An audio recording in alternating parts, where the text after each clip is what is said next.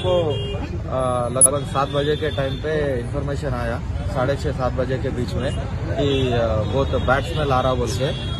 तो वहाँ से वो लोकल अरे बड़े भाई। आ, लोकल पर्सन के इन्फॉर्मेशन पे वो जाके चेक करे तो वहाँ पे एक वुमेन लेडी का डेड बॉडी है टोटली डिकम्पोज स्टेज में है। ये फ़िज़िकल अपियरेंस से एक आ, कम से कम दस दिन से पहले ये डेथ हो गई जैसा हमको लग रहा। इसको इमिडिएटली अब पीएमई के लिए शिफ्ट करें हॉस्पिटल को। वहाँ पे पीएमई के बाद में जो भी रिपोर्ट आएगा उसके ऊपर डेथ तो सस्पिशियस डेथ के ऊपर केस रजिस्टर करके इन्वेस्टिगेशन शुरू करें। सब तेलुगु बोल दो यहाँ पर जो है ये मस्जिद के तहत ज़मीन है।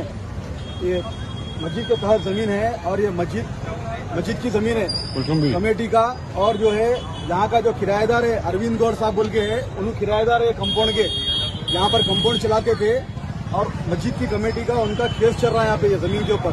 अब यहाँ पे ऐसा हो गया कि यहाँ पर गुड़खाना बन गया पूरा यहाँ पर कोई आने वाला नहीं है, कोई देखने वाला नहीं है। कौन अंदर जा रहा, क्या कर रहा, क्या है, कोई कोई पुरसाने हाल नहीं है। यहाँ पर कचरे की कुंडी कुंडी हो गई पूरी है और आज यहाँ, अब चार पाँच दिन पहले यहाँ पे लेके आके एक औरत को, कौन है मालूम नहीं, उसको मार के डाल दिए अंदर। ये हाल है कि अंदर कौन जा रहा, क्या कर रहा, क्या है, नहीं मालूम है।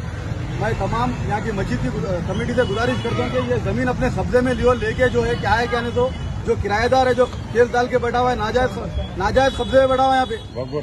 ये वकबट की ज़मीन है वकबट से भी मैं गुजारिश कर रहा हूँ कि आगे यहाँ पर आगे सर्वे करे ये ज़मीन जो है मस्जिद के तहत ज़मीन है।